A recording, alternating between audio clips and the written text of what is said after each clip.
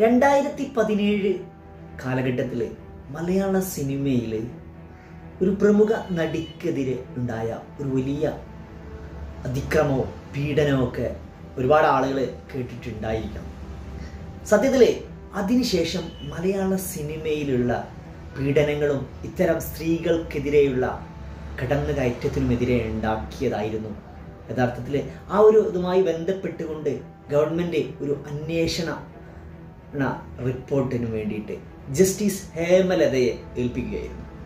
അങ്ങനെ ജസ്റ്റിസ് ഹേമലത ആ ഒരു ഇത്രയും വർഷ കാലയളവിൽ ഇതുമായി ബന്ധപ്പെട്ടുകൊണ്ട് തന്നെ ഒരുപാട് അന്വേഷണങ്ങൾ നടത്തിയിട്ടുണ്ടായിരുന്നു. സത്യം പറഞ്ഞാൽ നെട്ടിക്കുന്ന ഒരുപാട് വെളിപ്പെടുത്തലുകളാണ് കിട്ടിയത്. മലയാള സിനിമയിലെ കാസ്റ്റിംഗ് കൗച്ചും അത്തരത്തിൽ സ്ത്രീകൾക്കെതിരെയുള്ള കടന്നുകയറ്റവും സ്ത്രീ വിവേചനവും യാഥാർത്ഥ്യ സത്യമാണ് എന്ന് അറിയുക തന്നെയുണ്ടായി.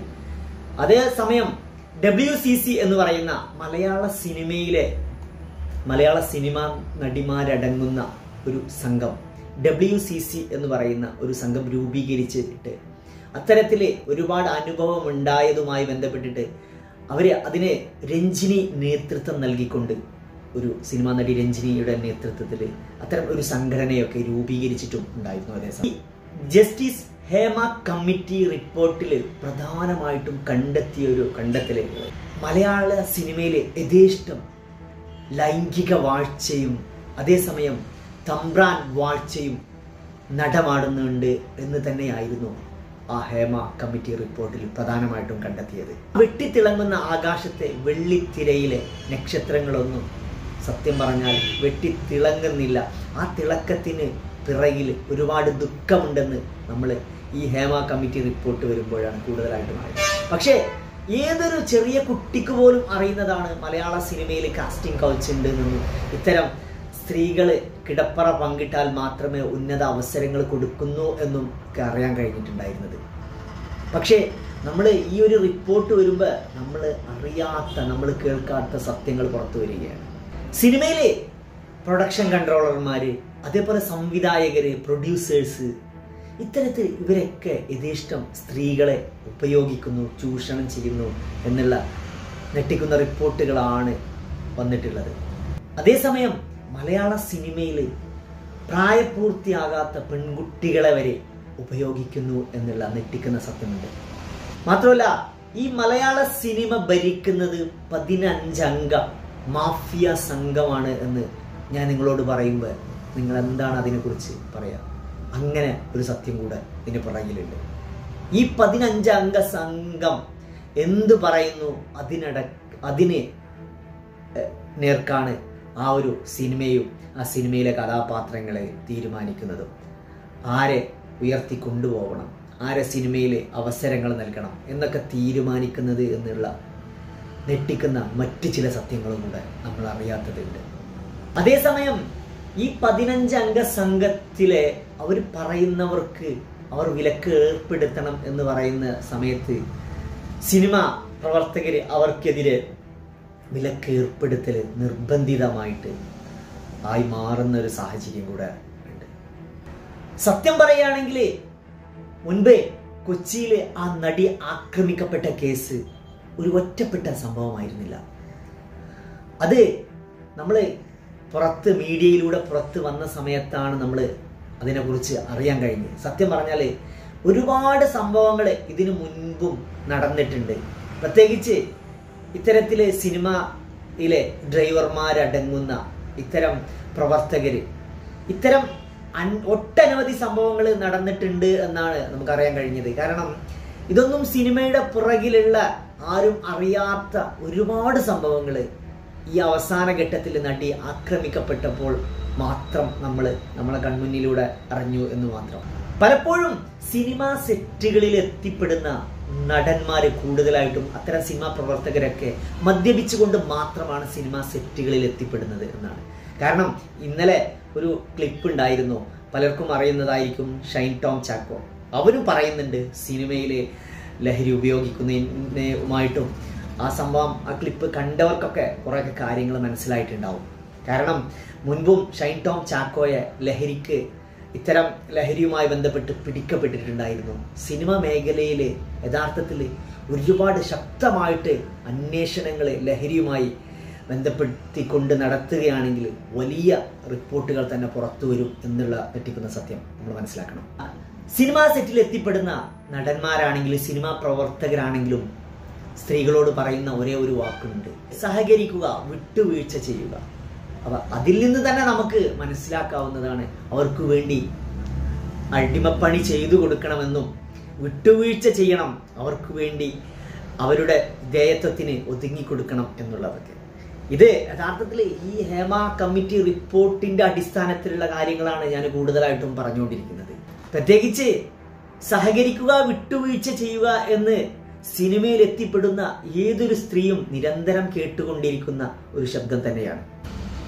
മറ്റുള്ള മേഖലകളിലൊക്കെ വിദ്യാഭ്യാസത്തിനാണ് പ്രാധാന്യം കൽപ്പിക്കുന്നത് എങ്കിൽ സിനിമയിൽ എത്രമാത്രം സ്ത്രീകൾ കിടക്ക പങ്കിട്ട് കൊടുക്കുന്നതിനും അതുപോലെ പ്രൊഡക്ഷൻ കൺട്രോളേഴ്സിനും അതേപോലെ സംവിധായകർക്കും ഇത്തരം സിനിമാ പ്രവർത്തകർക്കും ശരീരം തുണി അഴിച്ച് അവരുടെ മുന്നിൽ കിടക്ക പങ്കിടുന്നതിന്റെ അടിസ്ഥാനത്തിലായിരിക്കും അവരുടെ ഉയർച്ചയും വളർച്ചയുമെല്ലാം. അതുകൊണ്ട് തന്നെ പല സ്ത്രീകളും അവസരങ്ങൾക്ക് വേണ്ടി ഈ ഒരു അവസ്ഥ തുടർന്നുകൊണ്ടേ ഇരിക്കുന്നു എന്നുള്ള ഒരു സത്യം യഥാർത്ഥ സത്യമായിട്ടാണ് പുറത്തു വരുന്നത്. പലപ്പോഴും പല സിനിമാ നടിമാരും ഉയർന്ന ഉയർച്ചകളിലും വളർച്ചകളിലും എത്തിയിട്ടുണ്ടെങ്കിൽ ഇത്തരം സാഹചര്യങ്ങളിലൂടെ കടന്നു പോവാതെ എത്തിപ്പെട്ടിട്ടില്ല എന്ന് തന്നെയാണ് റിപ്പോർട്ടുകൾ പറയുന്നത്. അതേസമയം ഒരു തന്നെ ഒരു മനുഷ്യനെ പോലും ഉപദ്രവിക്കാത്ത അത്രയും നല്ല സംവിധായകന്മാരും അത്രയും നല്ല പ്രൊഡ്യൂസർമാരും നടന്മാരും വേറെയും ഉണ്ട് എന്നുള്ള ഒരു സത്യം കൂടെ ഈ റിപ്പോർട്ടിലൂടെ നമുക്ക് മനസ്സിലാക്കാൻ കഴിയുന്നുണ്ട്. പലപ്പോഴും പല സ്ത്രീകളും ജീവന് ഉപരി കുടുംബത്തിന് തന്നെ ഭീഷണിയാവുന്ന സമയത്ത് ആയതുകൊണ്ട് തന്നെയാണ് പല സ്ത്രീകളും പ്രമുഖരായ നടികളും ഇത്തരം സത്യങ്ങൾ മറച്ചു വെച്ചത് എന്നാണ് അനുഭവത്തിന്റെ അടിസ്ഥാനത്തിൽ ഇവർ ഹേമ കമ്മീഷൻ റിപ്പോർട്ടിനോട് തുറന്നു പറഞ്ഞത്. പക്ഷേ ഈ തുറന്നു പറയുമ്പോഴും അവരെല്ലാവരും ഭീതിപ്പെടുത്തുന്ന വളരെ ഭയപ്പെടുത്തുന്ന അവസ്ഥയിലൂടെയാണ് ഇതെല്ലാം പറഞ്ഞത്.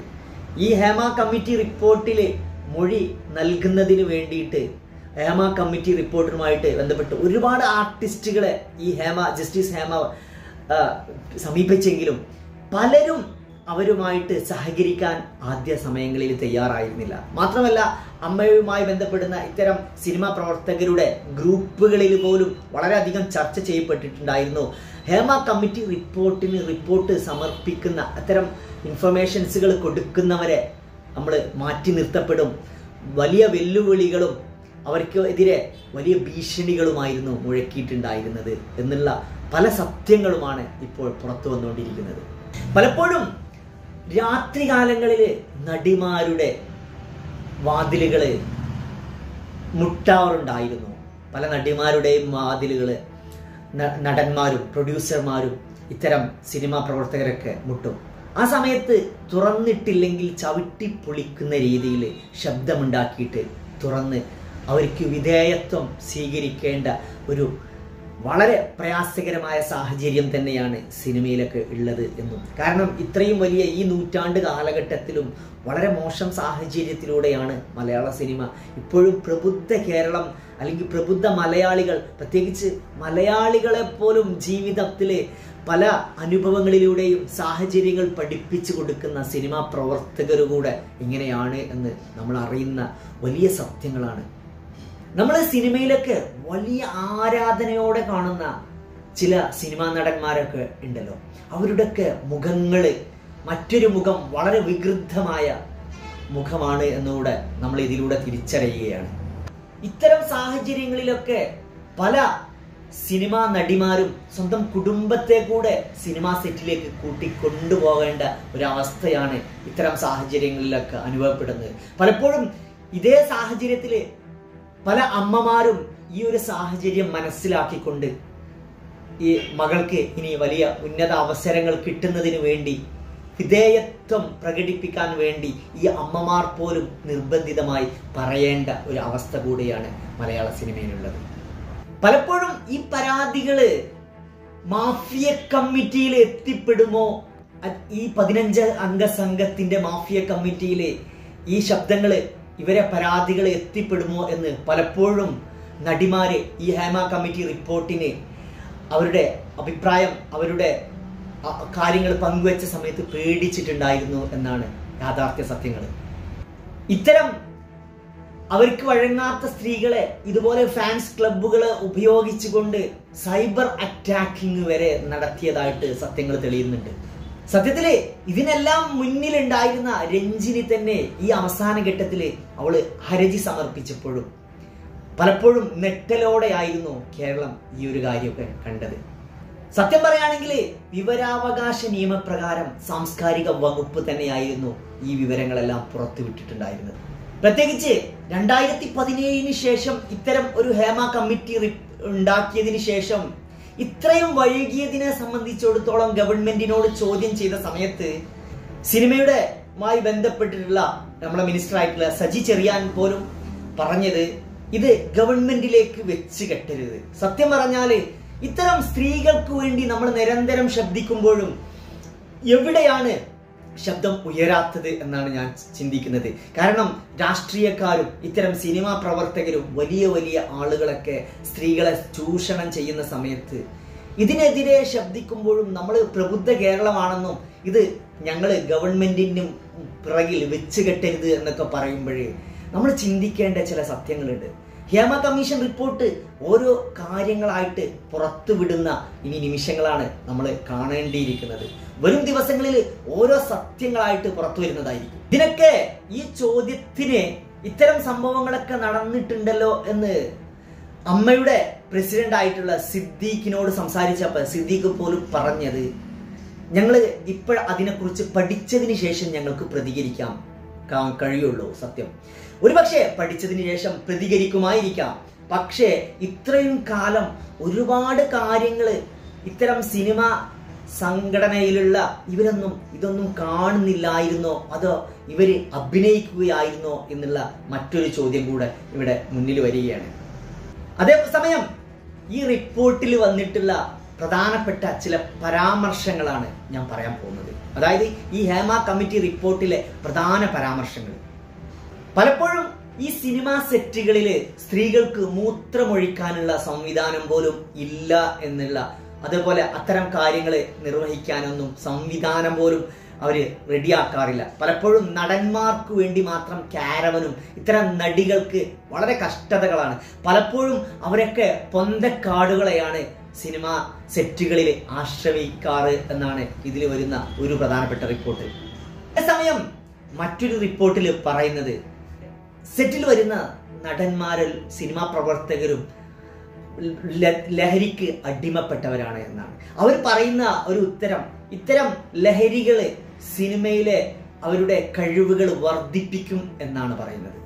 സിനിമ മേഖലയിൽ ഞാൻ നേരത്തെ പറഞ്ഞ പോലെ കാസ്റ്റിംഗ് കൗച്ച് ഉണ്ട് എന്നുള്ള യാഥാർത്ഥ്യ സത്യമാണ്.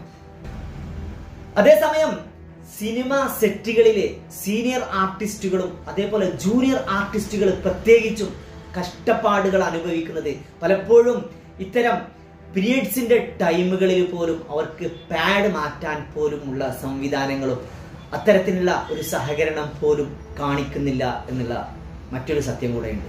സിനിമയിൽ ഈ സ്ത്രീകൾ സിനിമയിലേക്ക് കടന്നു വരുന്നത് അവർക്ക് പണം ഉണ്ടാക്കാൻ വേണ്ടി മാത്രമാണ് എന്നും അതിനുവേണ്ടി എന്തിനും സഹകരിക്കണം എന്നുള്ള ഒരു തീരുമാനമാണ് സിനിമയിലും സിനിമാ പ്രവർത്തകർക്കിടയിലൊക്കെ പറയാറുള്ളത്. അതുകൊണ്ട് തന്നെ സ്ത്രീകൾക്ക് അങ്ങനെ നിന്നു കൊടുക്കേണ്ട ഒരു സാഹചര്യമാണ് ഉള്ളത്. മാത്രമല്ല സിനിമയിൽ പല നടിമാരും ഉയർന്നു വന്നത് ഇത്തരം ലൈംഗിക പരമായിട്ട് പല ആളുകൾക്കും ഇത്തരം സിനിമാ സംഘടനയിലുള്ളവർക്കും ഇത്തരം കിടന്നു കൊടു കിടപ്പറ പങ്കിട്ടതിന്റെ പേരിൽ മാത്രമാണ് പലരും ഉയർന്നു വന്നത് എന്നുള്ള ഒരു വാക്കാണ് പലപ്പോഴും സിനിമാ പ്രവർത്തകർ ഉപയോഗിക്കാറ് എന്നുള്ള സത്യങ്ങളും കൂടെ നമ്മൾ അറിയണം. സത്യം പറഞ്ഞാൽ ഈ ഡബ്ല്യു സി സി എന്ന് പറയുന്ന സംഘടന അതായത് സ്ത്രീകളുടെ സിനിമാ സംഘടന രൂപീകരിച്ചതിന് ശേഷമാണ് ഇത്തരത്തിലുള്ള സ്ത്രീകൾക്കെതിരെയുള്ള ചൂഷണങ്ങൾ മലയാള സിനിമയിൽ നിരന്തരം നടക്കുന്നുണ്ട് എന്ന് അറിഞ്ഞത് എന്നും ഇതിൽ ഈ റിപ്പോർട്ടിലൂടെ മനസ്സിലാക്കാൻ കഴിയുന്നുണ്ട്. സത്യത്തിൽ സിനിമ മേഖലയിൽ ലിംഗ സമത്വം അതായത് സ്ത്രീയും പുരുഷനും തമ്മിലുള്ള ലിംഗ സമത്വം ഇല്ല എന്നുള്ള സത്യങ്ങൾ കൂടെ അറിയുന്നുണ്ട്. പലപ്പോഴും സ്ത്രീകളായിട്ടുള്ള സിനിമാ നിർമ്മാതാവും സ്ത്രീകളായിട്ടുള്ള സംവിധായകരൊക്കെ ഇതേ പ്രയാസങ്ങൾ അനുഭവിക്കുന്നുണ്ട് എന്നുള്ള യാഥാർത്ഥ്യങ്ങൾ വീണ്ടും നമ്മുടെ മുന്നിൽ ഉയർന്ന് ശബ്ദിക്കുകയാണ്. ഹേമ കമ്മീഷൻ റിപ്പോർട്ടിലെ ഞെട്ടിക്കുന്ന ഒരുപാട് സത്യങ്ങൾ ഇനിയും പുറത്തു വരാനുണ്ട്. പലപ്പോഴും ഇവിടെ പറഞ്ഞുകൊണ്ടിരിക്കുന്നത് ശബ്ദങ്ങൾ കൂടുതലായിട്ടും പ്രമുഖർ പ്രമുഖ നടന്മാർ. ആരാണ് ഈ പ്രമുഖ നടന്മാർ? ഇവിടെ ഞാൻ ചിന്തിക്കുന്നത് ഹേമ കമ്മീഷനും എന്തിന് ഭയക്കണം ഇത്തരം വെല്ലുവിളികളെ? ഹേമ കമ്മീഷൻ എന്തുകൊണ്ട് ഈ പ്രതികളുടെ ഇത്തരം കുറ്റകൃത്യം ചെയ്യുന്നവരുടെ പേരുകൾ പുറത്ത് വെളിവാക്കുന്നില്ല എന്നുള്ള ഒരു സത്യം കൂടെയുണ്ട്. ഏതായാലും വീഡിയോയെക്കുറിച്ചുള്ള അഭിപ്രായങ്ങളെ കമന്റ് ചെയ്യും. പുതിയ മറ്റൊരു വീഡിയോസുമായി വീണ്ടും കാണാം.